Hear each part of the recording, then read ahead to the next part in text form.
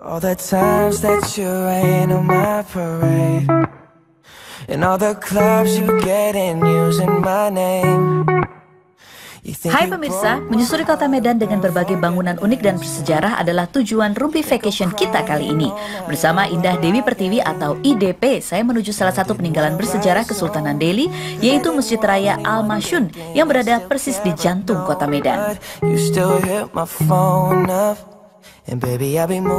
Hai pemirsa Rumpi No Secret. Mwah, Saya Kak Rose. Kita ketemu lagi di Rumpi Vacation Medan. Sekarang saya tidak sendiri Sudah ditemani oleh Indah Dewi Pertiwi alias IDP IDP ya. Kabar? Terima kasih sudah nemenin aku Karena kebetulan IDP lagi ada show juga di sini ya Di kota Medan ya malam ini nanti aku ada perform juga di Oh, sini. Sekarang kita jalan-jalan gimana?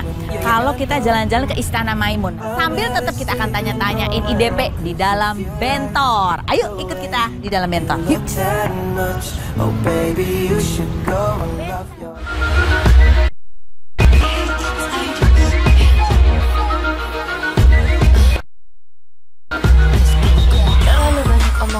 Indah Dewi Pertiwi lahir di Bogor 30 Januari 1991 menghabiskan masa kecil di desa Ciberem kaki Gunung Salak Bogor. Indah memilih pindah ke Jakarta di usia 18 tahun untuk kuliah di bidang akuntansi. Tanpa disangka, ia malah mendapatkan jalan untuk berkarir di dunia musik sebagai penyanyi.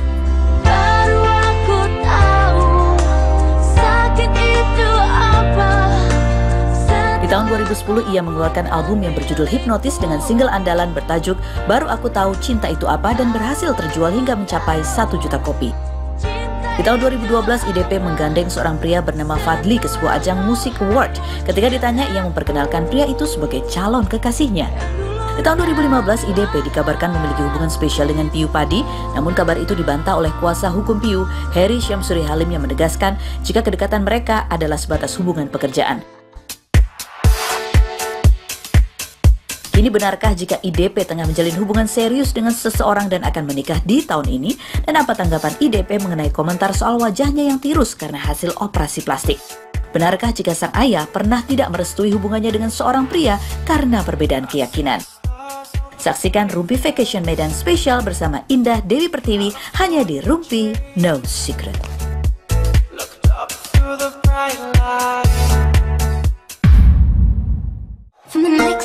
Setelah melihat keindahan Masjid Raya Medan, saya mengajak IDP menuju ke Istana Maimun. Untuk menuju ke sana, kita cukup menaiki alat transportasi yang unik yang menjadi ikon kota Medan, yaitu betor alias becak motor.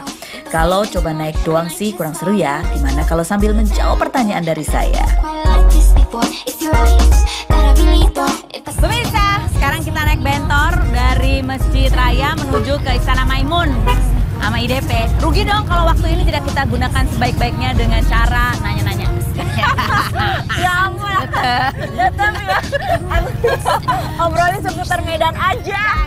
Pertanyaannya, pernah atau belum pernah kamu mengalami hal-hal seperti ini? Ya Allah. Pernah naksir gebetannya teman kamu? Eh, belum. belum pernah. Pernah? Rasanya kayak feeling gitu. Iya iya, merasa bersalah Iya. ya. Begini nih, ih ganteng banget ya gitu nggak pernah ya?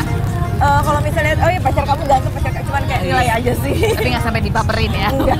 pernah nggak pernah di, eh, di berbohong soal jumlah honor yang diterima sama penyanyi lain? Sama penyanyi Eh. lain. Asik akunya aku lebih mahal Oh gitu. enggak, bukan berbohong sih lebih ke gak terlalu terbuka. Oh, iya, iya. honor Oh, iya. itu Oh, kan itu- enak, itu kan itu. terus buat kita aja kan. Betul, kalau itu mah biasa ini. Iya. Selingkuh atau diselingkuhin?